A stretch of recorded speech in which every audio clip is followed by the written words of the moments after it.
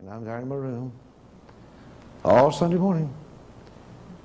11 o'clock on Sunday morning, got a telephone call.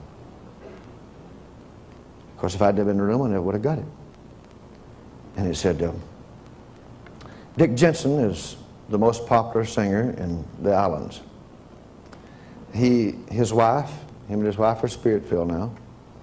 And his wife called me. She was on the phone. She says, Norvel, I'm so glad that I got you to come in. She said, you know, I didn't know you was in town. She said, Dick forgot to tell me. He said he talked to you several days ago, but he forgot, slipped his mind or something to tell me that you was in town. But she said, there, there are some friends here. She says, when he told me, he told me last night that you was in town. He says, well, I'm going to tell you what happened to me a few days ago. There are two ladies here, a mother and a daughter that's here from Canada. And she was supposed to come over. The daughter works at a bank in Canada, and she's only 19, she's 19 years old. And she was supposed to come over last January to your convention. And she wanted to come to your convention, but they said she had cancer in her arm. And said, told her not to come. That they wanted to run further tests on it. And so that was in January. And she's only 19 years old, works at the bank, and so she just kept on working, but they run tests on it, and they found out that it was messed up on the inside, the cancer had infected on the inside, and they had to take her arm off. So they cut her arm off, just below her shoulder. And she's a very beautiful girl, 19 years old. She's going to get married in August, this coming August, I believe she said. And said, uh, now then, she said, the arm is healed up, but now then, they, they have found cancer in both of her lungs. And there's no hope for her. And she's been listening to your tapes and reading your books in Canada. Somebody gave that tape series, How to Live and Not Die. She's been listening to it, and she was so hoping that she could see you so you could pray for her. When I found out you was in town, they're telling me all this, so I don't even know you're in town. They're telling me all this. So when they left town, I'll tell you what happened. Said when they left, started to leave the house, you know, says, their daddy says, well, you can't ever tell. Honey, I know the doctor said you have cancer in both lungs. There's no hope for you, but you can't ever tell. I know Jesus could heal you if we could ever get hold of him in that way, you know, and know the truth and so forth. But she said, you know, God has all kinds of ways of performing miracles. Said, sometimes, I hear that Brother Norvel, sometimes he goes to Honolulu. Said, you can never tell. God may have him there when you get there.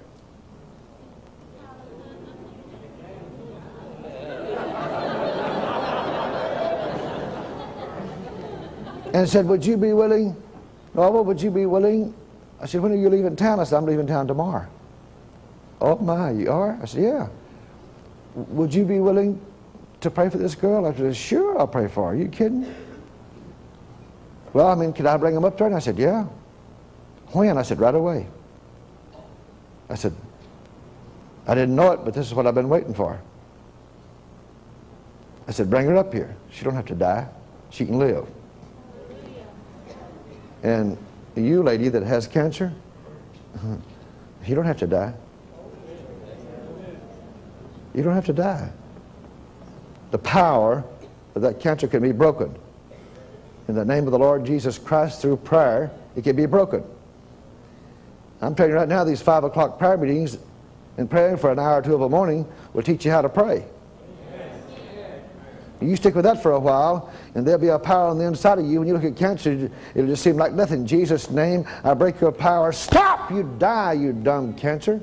Amen. And that's exactly the way you have to treat it if you want it to die. You can't fool around with it, you know. And play patty cake with it. You've got to, you've got to deal with cancer like a rattlesnake. You have to let the cancer know exactly where you stand. If you don't let the cancer know how you believe and where you stand, it will not die and it'll keep on spreading. Do you understand that? It won't die, it'll keep on spreading. Jesus spoke to me one time about 15 years ago and told me, he said, Some of you probably wonder why I teach like I do. Well, if you had the Lord Jesus Christ to speak to you and tell you something, maybe you'd, you'd do it too.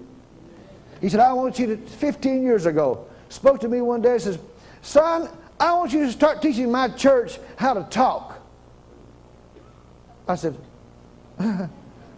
How to talk? I said, People in Boston think I don't know how to talk myself. you know, if you're from the, if you're from the, the original colonies of the United States, if you live up in there, you know, uh, you're not for sure that people from the South know how to talk. Because they say popcorn and car.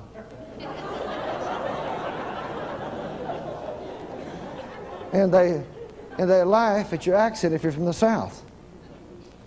I mean, accent? I mean, you have to stretch your ear to even know what they're saying. I said, What do you mean talking about me having an accent? It's not car, it's car, C A R. I used to date a girl from Boston, you know, and the days when we go to the movies, I'd say, Would you like anything? Well, I think, yeah, I think I'd like some popcorn. I said, What? Popcorn. Said, what? I don't understand what you said. Popcorn. Oh, I said, You mean popcorn? Is that what you're saying is popcorn? She said, Yeah, that's what I'm saying, popcorn. And she'd laugh and say, You're funny, Norvel.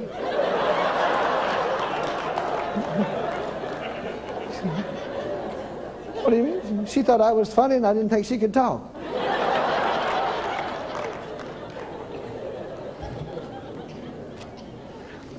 So I said, Jesus, what do you mean me teach people to teach your church how to talk? He said, well, they don't talk. They don't know how to talk. Hardly any of them. I said, what do you mean? He said, well, they don't talk to cancer, and they don't talk to back trouble, they don't talk to bad blood, and they don't talk to devils, and they don't talk to diseases. He said, I tell you, I told you, I've told the church, they got it, had it for 2,000 years, whosoever shall say unto this mountain, be thou removed and be thou cast into the sea, it shall be done for him. But son, my church, they don't talk to mountains. I said, Is that right? I want you to talk to them, teach them how to talk to mountains. I said, Is that right? Then he put me to a test. He said, Have you ever heard a person in your life, any one of my children in church, have you ever heard any person call themselves Christian followers of me? Have you ever heard them openly hold a conversation with the flu?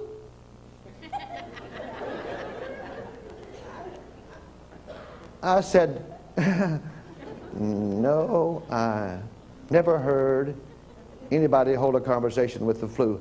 Did you ever hear somebody sitting in a room in a chair talking to the flu? Well, what haven't you? Everybody gets it. Nearly.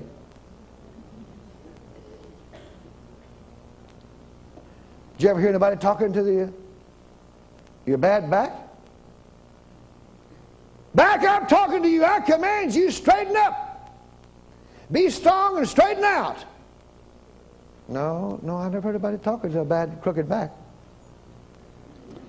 Did you ever hear a cripple talking to a crooked leg? No, I never did do that. No, that's the reason they're still a cripple. If you talk to the mountain, your mountain will be cast to the depths of the sea and gone from you and not bother you anymore. Is that straight? But you have to talk to the mountain. and then the Lord told me, He said, They're always wanting to talk to me about their mountains. I said, Jesus, I get them all the time. Hundreds of phone calls wanting to talk to me about their mountains. I get them all the time. He said, You get hundreds, I get millions.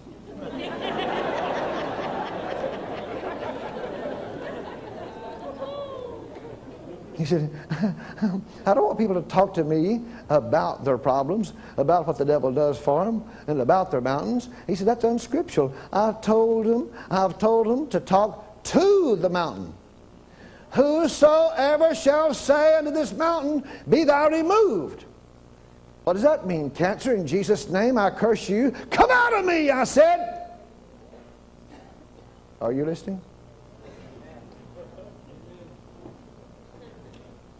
That's the first step. That's the first step. Cancer, in Jesus' name, I curse you and I command you, obey me. I am talking to you, you dumb invader into my body. I'm talking to you and I command you. Cancer, I'm not asking you anything because you're an idiot anyway. I bind you and I command you, come out of me. You go from my body in Jesus' name. You're not, no cancer will ever kill me.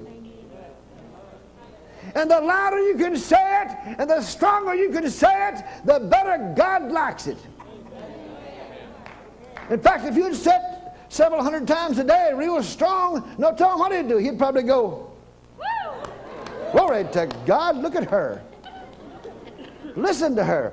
See, every time you every time you talk to a mountain in Jesus' name, in Jesus' name, in Jesus' name, it balls up into the throne of God. Brother, when you pray in Jesus' name, heaven starts hearing you. You just have to know that.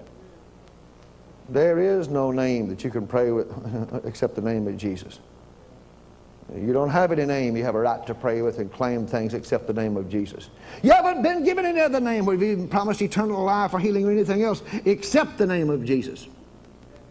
Jesus said, Whatever you ask the Father in my name, he will give it to you. Jesus said, All things you ask God for when you pray, He'll give them to you. Only believe and He'll give them to you. Okay, Jesus, I'll read it. Got to keep my place here. I tell you, these side roads are just as good as the main highway. Turn with me to Matthew 21 22. You need to see what Jesus says for yourself. You need to see it. You know, the Holy Ghost can remind you of scriptures that will set you free. I tell you, the Holy Ghost will feed you if you let Him. Glory be to God forever. Everybody that's saved, hold up your hand. Well, if you're saved, then you ought to believe the Lord Jesus Christ. Do you believe what He says? All right, look what He says. It's Him talking to you in Matthew 21 22. Jesus says, now this is this is all for all you tough cases, you know, that you, you know, uh, tough cases. Well, God don't have any tough cases. I am telling you boldly tonight in Jesus' name that He can melt cancer at the bat of an eye. You don't have anything. He can do away with that dumb thing so fast it'd make your head swim. I mean, remove it from you completely. And I don't care what it is. I don't care if you have knots and growths all over you, if you have balls all over you. I don't care. It doesn't make any difference. God give her two lungs suffice to make her head swim. Two new lungs. But you have to say that. If you want two new lungs, you have to ask for it. Two new lungs, Jesus! Two new lungs, they're mine. I claim them in Jesus' name. Two new lungs. You have to say two new lungs loud and strong.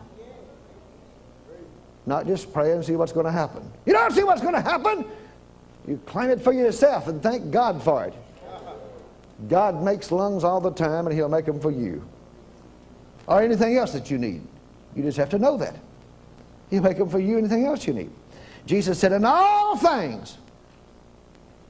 Is that what, what, what, what, what? And all things. The first three words. Look, look there. And all things Whatsoever you shall ask in prayer, believing, you shall receive. All things, whatsoever you shall ask in prayer, believing, you shall receive. But you don't believe. It says believing, but you don't believe unless you talk like you got it and act like you got it before you ever get it. Faith is not seen, my brother and sister. You have to talk like you got it. He just go around the country saying, well, have faith in this and have faith in that and have faith in this and have faith in that. Well, that's not good enough for us to teach that kind of stuff. faith in this and faith in that. That's not good enough.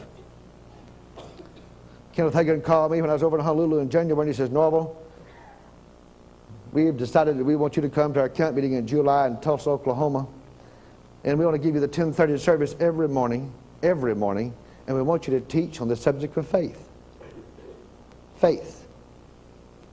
You know, so many people are so mixed up and confused about it, they don't even know how, how it works.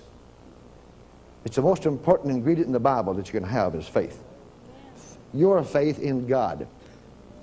But you, you, you can't believe unless you talk like you've got it and act like you've got it. Talk like you've got it and act like you've got it. And then, while you're talking like you've got it and claiming you've got it, talking like you've got it, act like you've got it because it's been given to you, all that time, then you have to stop and talk to the devil. Talk to the mountain and say no to it and resist it. Every time you say no to anything the devil's tried to do to you and resist it. No, I won't receive cancer. Cancer, in Jesus' name, I resist you and I command you obey me. I'm talking to you, cancer. I command you, you leave my body. You'll never kill me. I stop you dead in your tracks in Jesus' name. I said, Stop! You leave me, disappear in Jesus' name. Cancer, you can't stay in me, you dumb jerk. I'm talking to you. In Jesus' name, I'm talking to you. You have to obey me. I said, Die. And you have to talk just like that. If you don't, it won't die. You can't go around saying, Cancer, I wish you'd leave me alone. I don't like you. You're trying to mess me up. I don't like you. I wish you'd leave me alone. But the devil don't like nothing God does. You know what? The devil don't want you talking to cancer. Why? Because Jesus said for you to. He don't want you talking to cancer. Because Jesus said for you to. Anything that Jesus told you to do, the, de uh, the devil don't want that. No, he don't want that.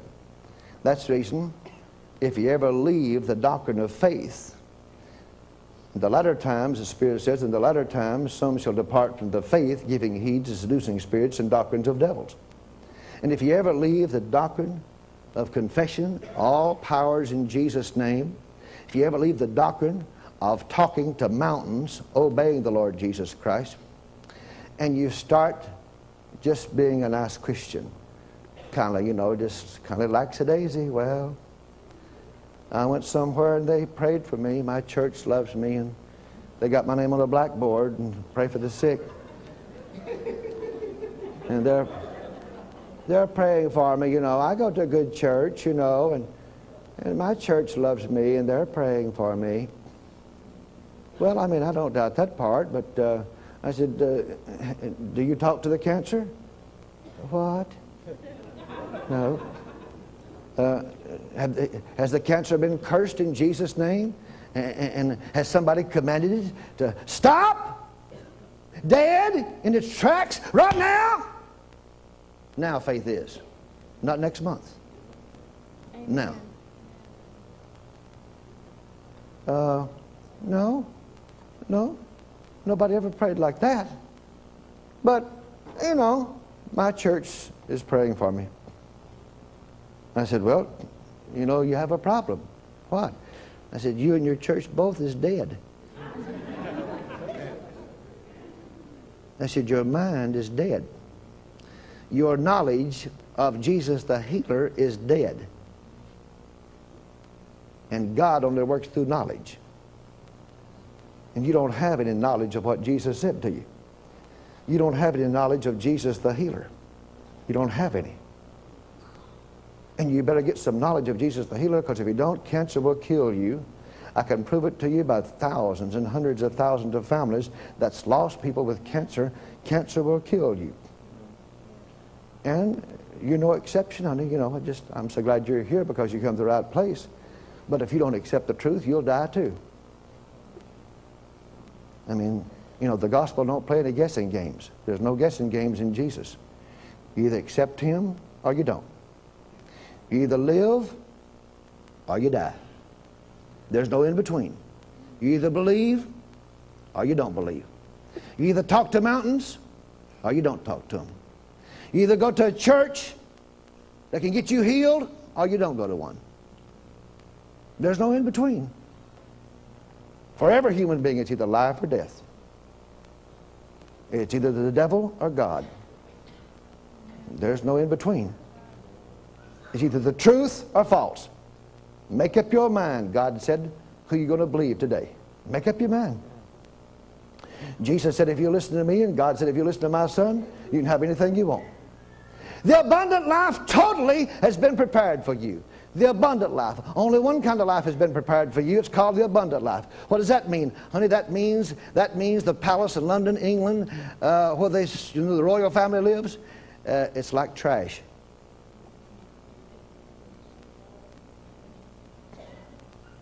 I can tell you right now, when you start praying for an hour of a morning, and you start believing the Bible yourself and start talking to mountains and quoting the Bible yourself, only then, get this straight, only then do you ever enter into the royal life. You have the royal life of God flowing through your veins. You have the royal life flowing, flowing through your hands, flowing through your feet, flowing through your legs, flowing through your mouth, flowing through your tongue. The royal life, my brother and sister. You'd be surprised at the Christians that tries to live a Christian life and they have a confused, beaten down life. They don't have, they're not living a royal life. There's only been one kind of life provided for you, and it's called the abundant life. That means the abundance that God has is yours. All the abundance that God Almighty has in all the storehouses in heaven, they are yours, my brother and sister. Jesus is not a liar. He says, And all things whatsoever you shall ask in prayer, believing you shall receive. You ought to try that some morning at 5 o'clock. Get into some of these prayer meetings. Well, I don't never ask the Lord for nothing but the novel. I never ask the Lord to save my neighbors. And I never ask the Lord to save people in the south and north and east and west. And I don't never really ask the Lord to bless the missionaries. And I don't I don't never ask the Lord to save my relatives, you know, and call them by name and confess they'll never go to hell. I, I, just kind of come to church, you know, and, and give a little bit of money to the church and, you know, Brother Noble, and just do the best I can. That's not the best you can. The best you can is get up, push your shoulders back, get dressed, come down and join your fellow workers, start praying unto God, walk in the floor and praying unto God, and the royal life of God will flow through you like a river. Brother, I'm telling you, you, you start reading the Bible, and it looks better than a Hershey bar with nuts. Glory to God forever. oh, really? Well, the Bible, when I read the Bible, it's just a book, you know, just a book. No, it's not just a book. There's life. The words are anointed. There's love in these words. Makes you want to eat sometime. They jumped out at you. Feeds you, gives you food, heaven food. Glory to God forever. Blessed be the name of Jesus. If you ever fall in love with the Bible, you got it made. See? Some people don't want to read, you know. Fall in love with the Bible. Say, oh, God, these words. I have sent my word to you. The Bible says, I have sent my word to you to heal you, God says. Sent my word to you to heal you. Did you know that God is medicine? All, any person, I don't care if it's the lady that got cancer or anybody else. Now listen closely because I'm going right down the channel and out of the Holy Ghost. Glory to God forever. I like it that way, though. All anybody has to do is for any kind of affliction or any kind of disease, all you have to do is make that affliction, don't ask it nothing, you make that affliction eat Matthew for breakfast, Hallelujah. Mark for lunch, and Luke for dinner at night, and John for a midnight snack.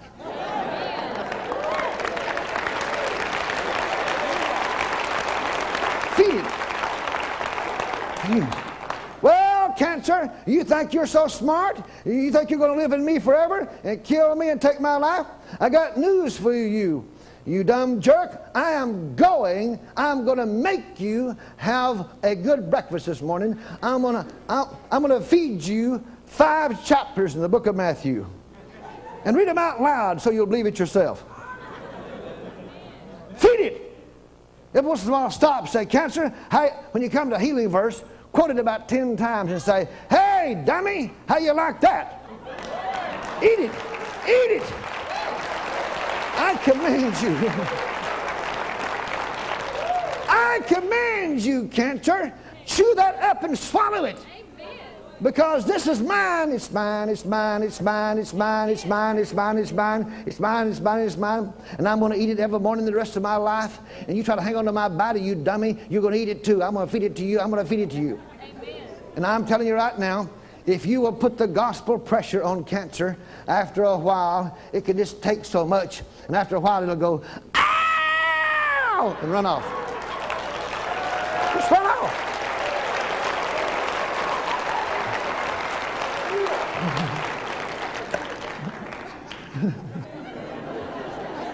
I've sent my word to heal you, God said. The word of God is like good medicine to you. Medicine. Everybody say medicine. medicine. Hey, I'm telling you, the Bible is medicine to you. Medicine. And then another good medicine to keep your heart and mind in good shape is when you're alive. Joy of the Lord is your strength. Feed that disease, chapters in the New Testament, and then life at the devil confess it's true and it's yours, and you're so glad that the Bible is true, and you're so happy that you can read, and you're so happy that it's yours, it's yours, it's mine, I got it, I got it, I got it. These healing verses are mine, I got it, I got it, I got it. And then just laugh because you're so happy that you got it, and just life and life and life. Life and life and life and life. All crooked legs that people speak to and talk to and laugh at, they all straighten out. Oh, they do? Oh, every one of them.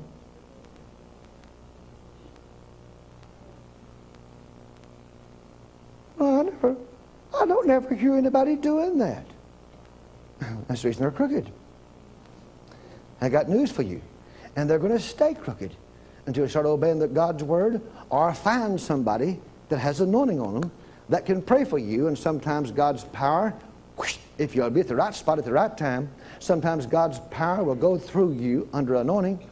But when you leave the building and uh, a few days later, and a few weeks later, and a few months later, uh, you're going to have to get into God's Word and start confessing it because the final analysis is going to be your faith, your faith in God. The final analysis of anything is always the person's faith in God because if he don't, it'll come back up on you. This one woman said, said Bob, she come to service, she said, I want to ask you a question. Now, I used to work with Kathryn Kuhlman some. Precious woman of the Lord. She said, you know, I went to Kathryn Kuhlman's service and just sitting out there in the congregation. Uh, the Lord healed me. I said, the Lord has healed thousands of people sitting in services. Kathryn Kuhlman just sitting in the congregation. She didn't pray for you before you got healed. I said her whole ministry was built on two gifts the gifts of healing and the gift of word of knowledge. Her whole ministry was built on that. And I said, she protected it. That's the reason it worked so strong, because she protected it. She wouldn't let you come up until after you got healed. But the Lord would heal hundreds. She said, well, I got my healing totally. I mean, the Lord healed me completely, completely healed me. And I stayed completely healed for two years. I mean completely. Not one symptom of any kind for two years. But can you tell me why it's come back up on me now and I'm worse than I ever was? Why, sure. Sure, it's come up on you. You said that right. Because you didn't go around pass out tracts. You didn't tell people that Jesus healed you. You overcome by the blood of the Lamb and by the word of your testimony. You didn't memorize enough healing verses. You didn't feed your own body and feed your faith and feed your spirit and feed your mind that you could think straight. Healing verses. Get consumed, get possessed with Jesus the healer if you want to stay healed. All the scriptures you deal with nonchalantly won't even work for you. They just a little touch here and there, a little touch here and there. Uh, get a foundation in God. Be steadfast, unmovable. The Lord's not going to change. He's not going to change. He'll do for you what you believe Him for. And He'll do it any time that your faith passes His test. Or sometimes He will do it when you don't have much faith, if it's under anointing that's on somebody else at the right place at the right time. That's the reason I encourage you to come to these meetings if you need help. And encourage you to bring your friends if they need help. Come to the right place at the right time. Pray and get you started on the right road. You got to get on the right road, my brother and sister. You got to get on the right road. You understand that? On the right road? Man asked me one time, Bob, a man, a Pentecostal leader, Bob, he asked me one time, he said, I want to ask you a question. I mean, I'm holding a question and answer session he rose up and he says, I want to ask you a question, Mr. Hayes. I was in Pennsylvania, and he says, I know you speak up in here some, you know, and then he says, and we, uh, you know, come to hear you speak, and you come up in here, but I want to ask you a question. He says, I'm a good Christian. I go to a full gospel church. And he says, I go to a full gospel church. And then he said, I, uh, we, me and my wife is good standing in the church, good standing in the church. And we have a, a side ministry working with dope addicts downtown under our pastor's approval. We're not rebels. Get this straight. You ever leave a good, solid church because that God has come and visited you some at a prayer meeting, or because you prayed for four or five people and they received healing, and you've got it in your idea that you're one of the top evangelists, that God's given you the spirit of Paul. and God's going to want you to go out and start a church and you go out. Just step out. Not having the church and the pastor's approval on what you're doing, you're walking on dangerous ground. If God's called you to do something, come before the elders of the church and explain it to them. And see if seasoned men of God agree with what you're saying. You understand that?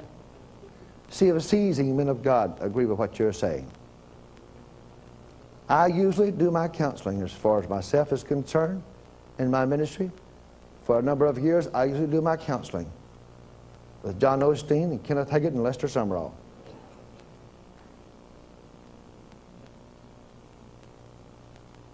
I think they've proved themselves pretty well, as much as anybody else has. I don't know of anybody that's any stronger than they are. I'm talking about day by day, by day, by day, by day, by day.